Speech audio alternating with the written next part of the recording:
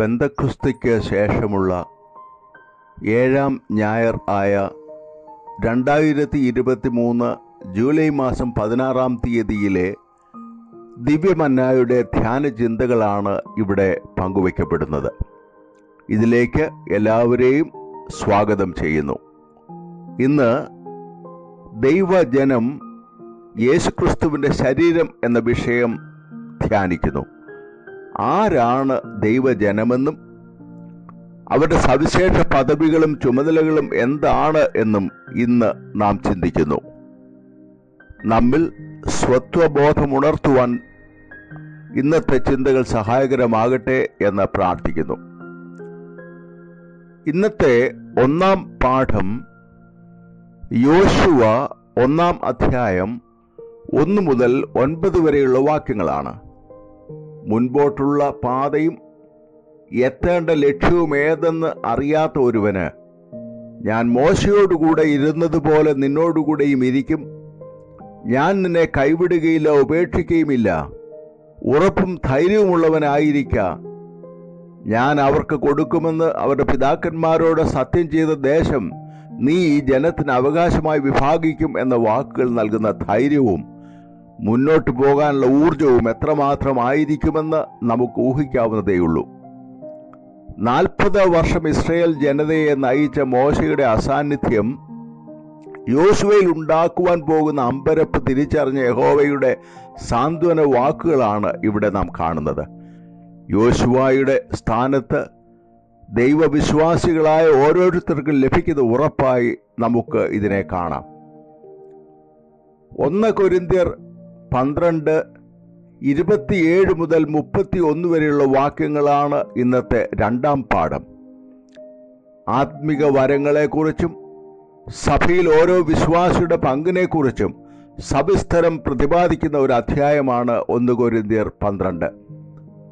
സഭയിലെ ചുമതലാ സ്ഥാനങ്ങളെക്കുറിച്ചും അത് നിർവഹിക്കുന്നതിന് നൽകപ്പെട്ടുള്ള കൃപയെക്കുറിച്ചും പരാമർശിക്കുന്ന വിശുദ്ധ പൗലോസ് ക്രിസ്തുവിന്റെ ശരീരത്തിന്റെ വിവിധ അവയവങ്ങളെപ്പോലെ പരസ്പരം സമന്വയിപ്പിച്ച് പ്രവർത്തിക്കുവാനാണ് ആഹ്വാനം ചെയ്യുന്നത്. ഈ അധ്യായം അവസാനിപ്പിക്കുമ്പോൾ നൽകുന്ന നിർദ്ദേശം നിങ്ങളെ ഏൽപ്പിച്ചിരിക്കുന്ന ദൗത്യം എന്തായിരുന്നാലും അത് നിർവഹിക്കുന്നതിലെ ചേതോ വികാരം അതിശ്രേഷ്ഠ മാർഗമായ സ്നേഹം ആയിരിക്കണം എന്നും ആകുന്നു.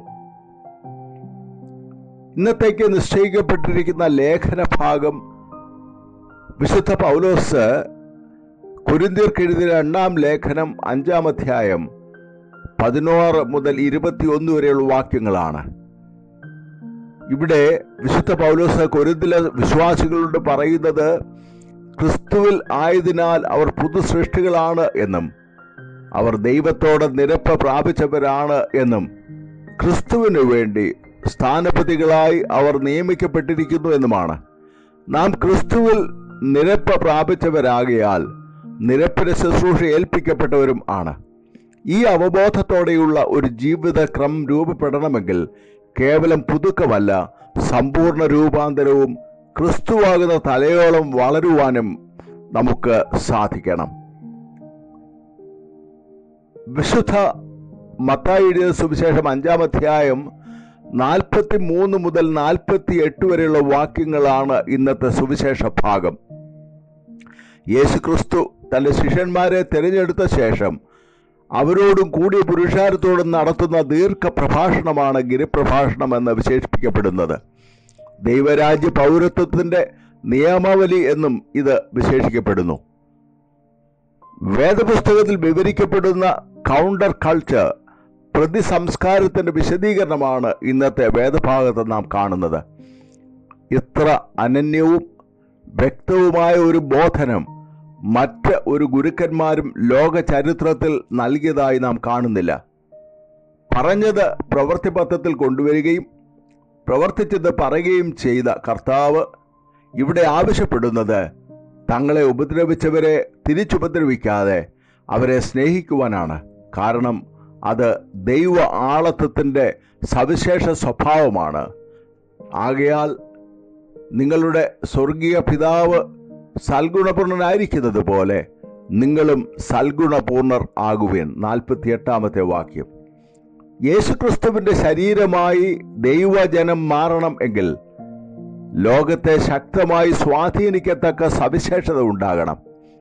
അതിന് നമ്മുടെ മനോഭാവത്തിലും ജീവിത ക്രമങ്ങളിലും ഉണ്ടാകേണ്ട സവിശേഷ പെരുമാറ്റമാണ് നമ്മെ ഉപദ്രവിക്കുന്നവരോടുള്ള സ്നേഹം എന്ന് കർത്താവ് ഇവിടെ വ്യക്തമാക്കുന്നു. രഹസ്യമായും പരസ്യമായും നാം പറയുന്നതും ചെയ്യുന്നതും പ്രതിപ്രവർത്തിക്കുന്നതുമായ കാര്യങ്ങൾ യേശുവിനോടുള്ള നമ്മുടെ ബന്ധത്തിന്റെ ആഴം വെളിപ്പെടുത്തുന്നു. മുല്ലപ്പൂമ്പൊടി ഏറ്റുകിടക്കും കല്ലിനുമുണ്ടാം ഒരു സൗരഭ്യമെന്നാണല്ലോ പഴമൊഴി. നാം ക്രിസ്തുവിന്റെ ശരീരഭാഗമാണ് എന്നതിന്റെ തെളിവ് നമ്മെ ഉപദ്രവിക്കുന്നവരെയും സ്നേഹിക്കുന്നതിലാണ് വെളിവാകുന്നത്. ദൈവജനം യേശുക്രിസ്തുവിന്റെ ശരീരമാണ് എന്ന് പറയുമ്പോൾ അവരിൽ വെളിപ്പെടേണ്ട ചില സവിശേഷ ഭാവങ്ങളുണ്ട്. അവ എന്തൊക്കെയാണ് എന്ന് ധ്യാനിക്കുവാൻ ഇവിടെ ഉദ്യമിക്കുന്നു. ഒന്ന് ജീവിത വിശുദ്ധിയിൽ ഉള്ള നിഷ്കർഷ. യേശുക്രിസ്തു വിശുദ്ധനായിരിക്കുന്നത് പോലെ ദൈവജനവും വിശുദ്ധരാകണം. ലോകത്തിന്റെ മൂല്യബോധവും ശൈലിയും അത് ലംഘിക്കുന്ന ജീവിത ക്രമമാണ് യേശുവിൽ നമുക്ക് കാണാൻ കഴിയുക. ഈ ഭാവമാണ് ദൈവ ജനത്തിലും വെളിപ്പെടേണ്ടത്. ഒന്ന് പത്രോസ് രണ്ടാം അധ്യായം പതിനൊന്ന് പന്ത്രണ്ട് വാക്യങ്ങളിൽ നൽകുന്ന ഉപദേശം പ്രിയമുള്ളവരെ പ്രവാസികളും പരദേശികളുമായ നിങ്ങളെ ആത്മാവിനോട് പോരാടുന്ന ജനമോഹങ്ങളെ വിട്ടകന്ന് ജാതികൾ നിങ്ങളെ ദുഷ്പ്രവർത്തിക്കാറും ദുഷിക്കുന്തോറും നിങ്ങളുടെ നല്ല പ്രവൃത്തികളെ കണ്ടറിഞ്ഞിട്ട് സന്ദർശന ദിവസത്തിൽ ദൈവത്തെ മഹത്വപ്പെടുത്തേണ്ടതിന് അവരുടെ ഇടയിൽ നിങ്ങളുടെ നടപ്പ് നന്നായിരിക്കണം എന്ന് ഞാൻ പ്രബോധിപ്പിക്കുന്നു എന്നാകുന്നു. ദൈവജനം അല്ല എന്ന് നാം കരുതുന്നവരിൽ നിന്നും നമ്മെ വ്യത്യസ്തരാക്കുന്ന എന്താണ് നമുക്ക് അവകാശപ്പെടാൻ കഴിയുക? രണ്ട് മോശമായി പെരുമാറുന്നവരോട് പെരുമാറ്റത്തിലുള്ള വ്യത്യസ്തത. സ്വർഗസ്ഥനായ പിതാവിന് പുത്രന്മാരായി തീരേണ്ടതിന് ശത്രുക്കളെ സ്നേഹിക്കുന്നവരും ഉപദ്രവിക്കുന്നവർക്ക് വേണ്ടി പ്രാർത്ഥിക്കുന്നവരും ആകുവാനാണ് കർത്താവ് ആവശ്യപ്പെടുന്നത്. മൂന്ന് ജോലി ശീലങ്ങൾ. വിശുദ്ധ പൗലോസ് കൊലോസർക്ക് ലേഖനം എഴുതുമ്പോൾ അവർക്ക് നൽകുന്ന പ്രബോധനം ശ്രദ്ധിക്കുക. നിങ്ങൾ ചെയ്യുന്നത് ഒക്കെയും മനുഷ്യർക്ക് നല്ല കർത്താവിന് എന്ന പോലെ മനസ്സോടെ ചെയ്യുവിൻ. അവകാശമെന്ന പ്രതിഫലം കർത്താവ് തരുമെന്നറിഞ്ഞ് കർത്താവായ ക്രിസ്തുവിനെ സേവിപ്പിൻ. മൂന്നാം അധ്യായം ഇരുപത്തി മൂന്നും ഇരുപത്തിനാലും വാക്യങ്ങൾ. നാല് യുക്തിഭദ്രവും പക്വവുമായ പെരുമാറ്റം. നന്മ തിന്മകളെ തിരിച്ചറിയാൻ തഴക്കത്തിൽ അഭ്യസിച്ച ഇന്ദ്രിയങ്ങളുള്ളവരായി പ്രായം തികഞ്ഞവർ ആകണമെന്ന് എബ്രായ ലേഖന കർത്താവിന് നിർദ്ദേശം ശ്രദ്ധിക്കുക. അഞ്ചാം അധ്യായം പതിനാലാമത്തെ വാക്യം. പക്വമായ പെരുമാറ്റം നമ്മിൽ നിന്നും ഉണ്ടാകാത്തതിന്റെ ഫലമായി ദൈവ അനുഭവത്തിൽ നിന്നും അകന്നു പോകുന്നവർ ഉണ്ടാകുവാൻ പാടില്ല. ഒരു മനുഷ്യന്റെ മൊബൈൽ ഫോൺ പള്ളി ആരാധന മധ്യേ റിങ് ചെയ്തതുമായി അനുബന്ധിച്ച് ഒരു കഥയുണ്ട്. ഫോൺ റിങ് ചെയ്യുന്നത് കേട്ട പട്ടക്കാരൻ അവനെ ശകാരിച്ചു. ചുറ്റുപാടുമിരുന്നവർ പുച്ഛത്തോടെ നോക്കുകയും പരിഹസിക്കുകയും ചെയ്തു. വീട്ടിലെത്തുന്നതുവരെ ഭാര്യ അയാളെ വഴക്ക് പറയുകയും കുത്തി നോവിക്കുകയും ചെയ്തുകൊണ്ടിരുന്നു. അന്ന് രാവിലത്തെ സംഭവം അയാളെ വല്ലാതെ അപമാനിതനാക്കി. അന്ന് വൈകുന്നേരം ആ മനുഷ്യൻ ഒരു ബാറിൽ പോയി. ബാർ കൗണ്ടറിൽ ഇരിക്കുമ്പോൾ അബദ്ധത്തിൽ മുൻപിലേക്ക് വെയിറ്റർ കൊണ്ടുവച്ച മദ്യഗ്ലാസിൽ തട്ടി തറയിൽ വീണു പൊട്ടിച്ചിതറി.